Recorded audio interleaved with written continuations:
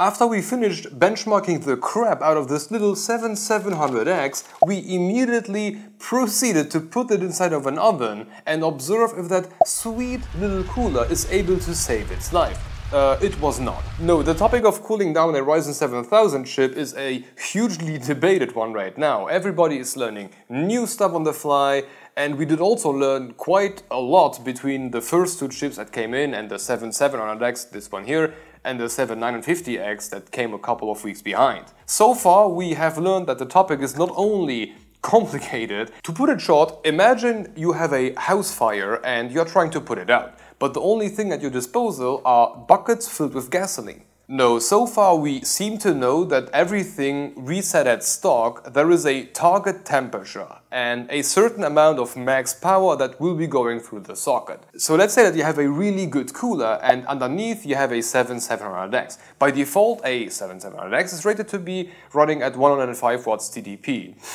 Um, if you have a really good cooler, the power that will be going through the socket is actually more like 138 watts. The problem here is that the last 20 watts are actually just waste, nothing else. It's, it's just unnecessary waste. Take our 7950X benchmark as an example. When left unchained, this thing pulled 225 watts through the socket. Then we manually limited the TDP to be acting like a 105 watts chip, which resulted in the chip then burning 145 watts to the socket, which is a lot closer to the 170 watts TDP target of the chip, but instead of having the chip's performance halved, it ended up being an average of minus 1 in total, minus 3 in software and plus 2 in games. But very very far from actually throttling the CPU's capabilities. And here is also where the unnecessary waste comes in. As far as we could tell for now, once you, you've reached a certain threshold of potential performance, the CPU will not stop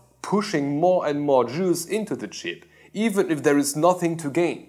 And the problem with that is that the number 95 is no longer a hard limit, it's a freaking target. So let's say you are pulling 100% performance out of your chip and you have the beefiest AIO in, in, the world, which would be capable of pushing down the temps to, let's say, 60 degrees C where the chip will just push more and more and more juice into itself until the temperature reaches 95 or until the hard TDP limit hits, which again is, is very far from what is advertised on the box. So let's take a real world scenario for once. At the 7700X, it, it doesn't really matter if you take an Arctic Liquid Freezer 420 or a 240 both of them will be capable of keeping the CPU below 95 degrees C, hence the CPU will push more and more and more power until it gets back to 95, without any gain in performance.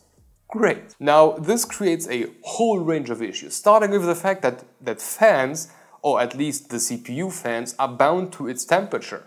And now apply this problem to a 7950X. No matter what you do, the fans will ramp up to 100% all the freaking time. Very problematic. This is a topic on its own. I just wanted to explain why we did things the way we did it. So the approach is pretty similar to what we did on the 7600 and 7900X. First, I determined how much juice the CPU can pull through the socket, which turned out to be 138 watts. From there, I manually set the V-core to 1 0.35 volts and then multiply to 52.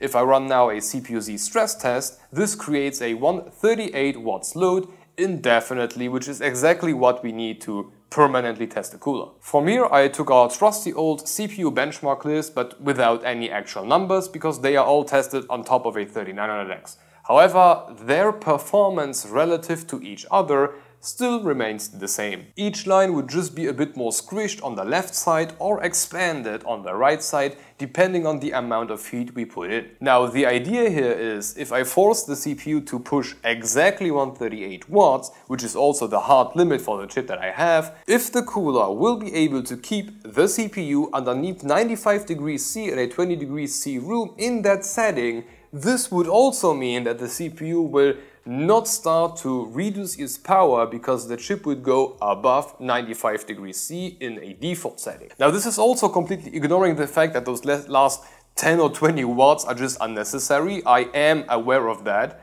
and it is a waste, but I am trying to determine which cooler are okay for the 7700X, like the the minimum limit to be 100% sure, no matter what weirder stuff the, the power management system does. This also means that only the coolers that are passing today's test will not be the type of cooler which will ramp up the, to crazy RPMs because they can keep the CPU cool no matter what. To start on the bright side, all of, of, no, most of the bigger AIOs were able to keep the CPU underneath 95 degrees C while pushing 138 watts all the time. Our bigger liquid freezers, Be Quiet silent loops, and all of those were perfectly fine. It's not as bad until here. But the trend does continue for quite some time until Noctua's NH-D15, which manages to keep the CPU at 89 degrees C for example.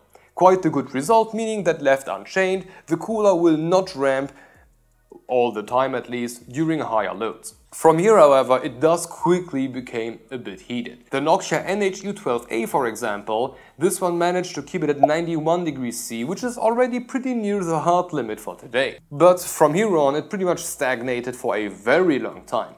The Scythe Mugen, for example, kept it at 92.4 degrees C. Even Noctua's C14 managed to perform surprisingly well at 92.4. And this list then continued on until we hit rock bottom.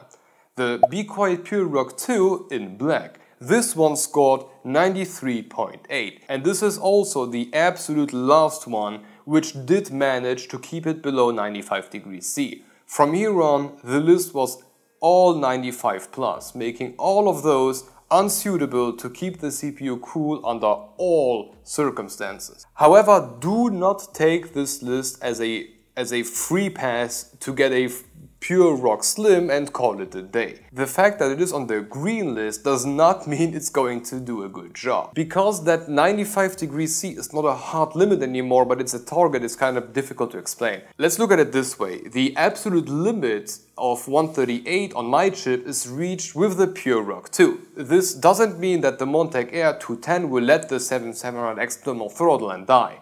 And it doesn't do that because the last 10-20 watts of the CPU are just unnecessary waste. There is nothing to be gained except for it being obsessed with that 95 degree C target. So what would happen if you would use an uh, Montech Air 210 is that the fan on the cooler will just ramp up practically all the time. And the further down you go from a pure rock, the more often this will happen. Of course, at some point it will thermal throttle, or just shut down like in my case, but none of the coolers on this list will produce such a result. However, the higher you go, the less likely the ramping is bound to happen. And this is kind of the point. If left unchained, it will always try to go to 95 degrees C, which will make your fans ramp up to max speed. And the thing is that you are not forced to endure this behavior. At some point you will get into things like for example Noctua U12A. This one was able to keep the CPU at 91.3.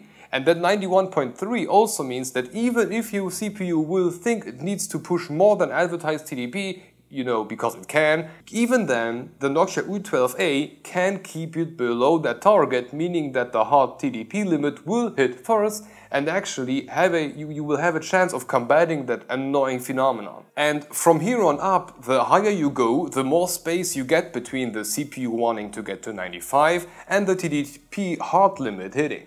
So we basically have two lists. This is the one that your CPU will survive. You can go with any of the green ones and expect the CPU to perform like advertised on the box. However, prepare for suicidal thoughts cause the fans are going to ramp up like crazy. For people whose insurance policy doesn't include psychiatrists, we have this list. Everything green is acceptable and the further up you go, the more you show your 7700X that your cooler is stronger than its will to spontaneously light on fire. And yes, I know that in my 7600X video the can survive list looked a lot darker, However, on, on that point, I didn't know how much a Ryzen 7000 chip will try to get to 95 degrees C. And for that video, I say temperature limit of 90, which was a bit hard. Actually, you can, you can make a survive list that should look like this and the list that I would, I would, actually recommend would look like this. But okay, on that note, I guess this was it for today. I hope this was helpful or that the whole Ryzen temperature thing was uh, in the very least understandable. And I really do hope that I don't find out something tomorrow that makes this whole video unnecessary. I, I really, I really hope so. If you want to continue watching, have a look at our take on the Ryzen 7 900X. And thank you for watching and hope to see you in the next one.